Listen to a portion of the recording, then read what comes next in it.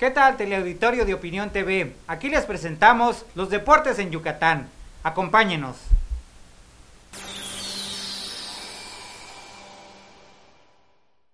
El 22 de febrero quedó instituido durante la gestión de Raúl González al frente de la CODEME como el Día del Cronista Deportivo. El deporte es pasión. El cronista deportivo toma esa pasión para hacer historias dentro del mundo del deporte, ya sea en prensa, radio o televisión, cada quien muy a su estilo y desde su trinchera, pero dedicados de manera muy profesional a informar o narrar estos sucesos de interés, ya sea fútbol, béisbol, toros, box, atletismo o cualquier disciplina. Ellos son los hombres en la tierra del Mayab, en Yucatán, lugar donde los mayas practicaban desde hace mucho el juego de pelota, quienes forman parte de la Asociación de Cronistas Deportivos de Yucatán, que se unieron para conmemorar su día. Por la mañana en Ciudad Cauquel, en la avenida que llega al mismo nombre del cronista deportivo, se dieron cita para depositar una ofrenda floral para conmemorar a quienes se nos adelantaron con la presencia de sus familiares como fueron Flavio Zavala Millet, Miguel Palma Zapata, Felipe Escalante Ruz Juan Brea y Jorge Carlos Menéndez Torre, al igual que Russell Gutiérrez Canto en una ceremonia breve pero muy emotiva donde se recordó el legado de cada uno de ellos. Después se hizo el respectivo corte de listón en el sitio donde estarán las placas respectivas tomando además la foto oficial del recuerdo. Más tarde se develó una placa conmemorativa en el Estadio General Salvador Alvarado a través del director general del Instituto del Deporte, Juan Sosa Puerto, y en el evento asistieron los miembros de la asociación encabezados por el presidente Andrés Novelo Mena, quien junto con Marco Moreno Moreno de Milenio Novedades y Mario Peniche Gorosica develaron las placas de los periodistas que a lo largo de 14 años han ganado los premios Fray Nano y Fernández por 20 y 5 años de trayectoria dentro del periodismo deportivo. El evento se desarrolló alrededor de las 12 del día con la presencia de los periodistas deportivos de prensa, radio, televisión y digitales. La ceremonia fue sencilla y en ella se recordó con un aplauso al compañero Russell Gutiérrez Canto, fallecido en noviembre de 2017. En su intervención, Juan Sosa Puerto elogió el trabajo de los periodistas deportivos que con su pluma y micrófono llevan el quehacer deportivo a la sociedad. Sin ustedes nadie reconocería las historias y hazañas de nuestros deportistas yucatecos dentro y fuera de nuestro estado, señaló, acompañado de distinguidos miembros de la crónica deportiva como Charlie Andrade, Antonio Lizama, Eddie Baeza, Freddy Ríos, Patricia Rubio, Jesús Pantoja, Gaspar Silveira,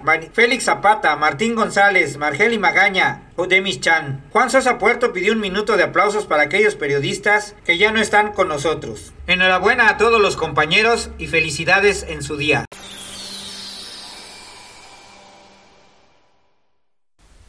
Gracias amigos de Opinión TV. Hasta aquí la información. Recuerda, el deporte es pasión. Yo soy Javier Negrete. Hasta pronto.